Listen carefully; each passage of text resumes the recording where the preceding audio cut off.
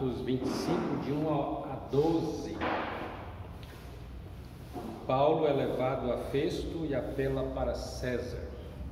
Três dias depois de ter assumido o governo da província, Festo saiu da Cesareia e foi para Jerusalém. E logo os principais sacerdotes e os maiorais dos judeus lhe apresentaram queixa a respeito de Paulo. Contra ele pediram a Festo o favor de mandar que ele fosse trazido a Jerusalém. É que eles tinham armado uma emboscada para matar Paulo no caminho. Festo, porém, respondeu que Paulo continuaria preso em Cesareia, que ele mesmo muito em breve partiria para lá. E concluiu: Aqueles de vocês que estiverem habilitados em acompanharem, em minha, me acompanhem, e havendo contra este homem qualquer crime, acusem-no. E não se demorando entre eles mais de oito ou dez dias, foi para Cesareia.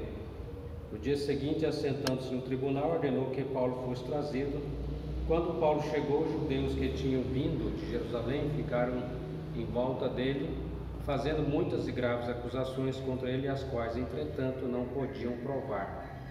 Então Paulo, defendendo-se, disse: Nenhum pecado cometi contra a lei dos judeus, nem contra o templo, nem contra César. Então Festo, querendo assegurar o apoio dos judeus, perguntou a Paulo: Você gostaria de ir a Jerusalém e ser ali julgado por mim a respeito destas coisas? Paulo respondeu: Estou diante do tribunal de César, onde convém que eu seja julgado. Não fiz mal nenhum aos judeus, como o Senhor sabe muito bem. Se de fato pratiquei algum mal ou crime digno de morte, estou pronto para morrer. Se pelo contrário, se, são, se não são verdadeiras as coisas de que me acusam, ninguém pode me entregar a eles. Apelo para César.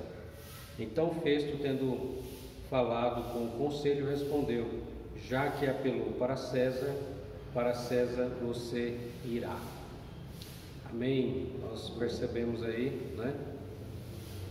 Deus usando a Paulo nessas situações para anunciar o Evangelho, né? Até mesmo a César, né? E que esse propósito da palavra de Deus também, o imperador tem a oportunidade de ouvir a palavra de Deus também. E assim o Evangelho deve chegar, ser anunciado a todos, né? sejam pequenos ou grandes, simples e humildes ou sábios, quem autoridades e todos, né, ouvir a palavra de Deus. Oremos, né, por aqueles que têm levado a palavra do Senhor, Bíblia Sagrada. Vamos orar para os nossos irmãos Gideões, né? Que tem também feito esse trabalho de evangelização. Em nome de Jesus.